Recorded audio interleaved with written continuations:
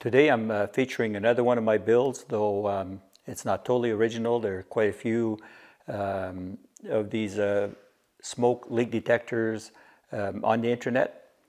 I've uh, taken what I think is some of the best ideas and then I've added a few of my own. I also stayed with the 72 watts thereabout of heating element that's in here. So if you shoot for a resistance wire that's going to have 2 ohms and you're at 12 volts nominal, you're going to draw 6 amps and that will give you 72 watts of heat. I thought I'd made a mistake uh, following that guideline because it's a little slow, but it does it does come out, and when it when it gets going, it's just right, and the can doesn't overheat. So uh, that's uh, probably the right uh, kind of heat setting to shoot for. To achieve the 2 ohm, because I went with 18 gauge resistance wire, uh, much uh, larger diameter than most people. They, uh, most of the ones I've seen on the internet were using 24 gauge uh, wire. And the larger the diameter, the less resistance per foot. So I need about five feet of that wire to achieve two ohms. I kind of liked it because it's more rigid. I mean, the, the whole assembly, the wicks and everything else inside is suspended off that wire. So I like the fact that it's a little larger. But being five feet in length, it means more wraps. And to try and keep that uh, under control a little bit, I, um, I went to a larger diameter mandrel. So I started with mandrels about an inch and a quarter, and I guess it sprung open to about inch and five eighths once I did it. And uh, there's just that much more wick inside of there than, than most. More contact, I think it's pretty good. I also added a, um,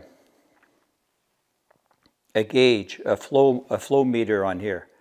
And um, most people don't do that on theirs. And the ones that I've seen are the tubing leading to it are in the exterior of the can. I wanted a more uh, uh, compact build, cleaner. So I kept everything inside the can there's a, a, tubing that goes from this uh, small old barbecue uh, propane regulator that I had. This one's a 90 degree one, that's why it fit like this. This bracket is only hammered out of a piece of uh, 10 gauge aluminum. Um, rubber grommets go a long way on a project like this. That's all rubber grommets everywhere. I also took the um, the handle that was on this can and I made my own out of a three quarter inch strapping and it's offset a little bit.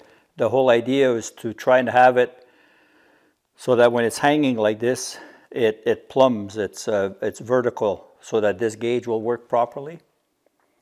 Uh, so this gauge, you'll notice that there was a small uh, piece of hose on the top end that points down towards the can to help stir all the smoke around. So the pressure regulator comes down at the bottom here.